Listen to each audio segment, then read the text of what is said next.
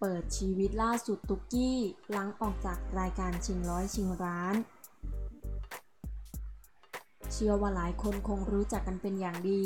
สำหรับตลกหญิงมากความสามารถอย่างตุกกี้สุดารัตน์หรือตุกกี้ชิงร้อยที่ล่าสุดต้องบอกเลยว่า เธอนั้นติดดินสุดๆ และก่อนหน้านั้นมีประเด็นดราม่าว่า สาวตุกกี้มีปัญหากับตลกรุ่นพี่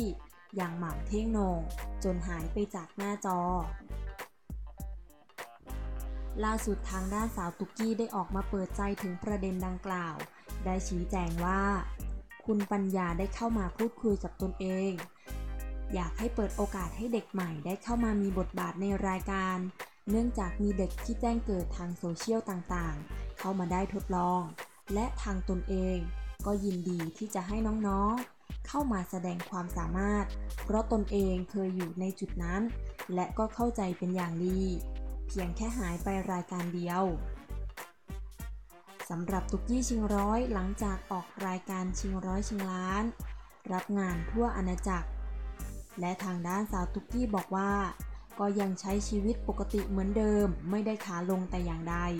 ส่วนเรื่องข่าวลือออกจากวงการไม่ใช่เรื่องจริง เพราะตนมีสัญญาอยู่กับเวิร์กพอยต์อีกนาน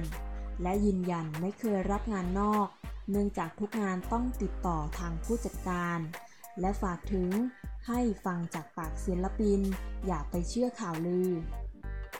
อย่างไรก็ตามปัจจุบันนี้เรียกได้ว่าสาวตุ๊กกี้